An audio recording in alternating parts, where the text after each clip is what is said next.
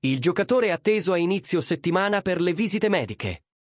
Come riportato da Sky, l'accordo definitivo tra il Milan e la società giocatore, raggiunto oggi sulla base di 19 milioni più 4 milioni di bonus.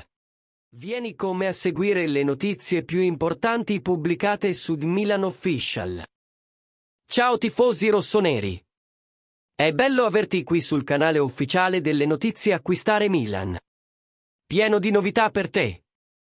Non perdere tempo e iscriviti al canale per non perderti le novità del Milan.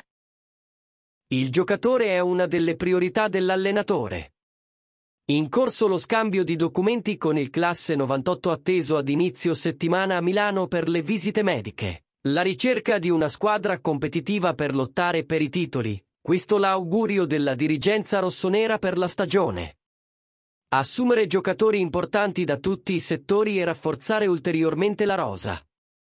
Il nuovo acquisto dovrebbe arrivare in Italia lunedì per sottoporsi alle visite mediche e firmare per il Milan.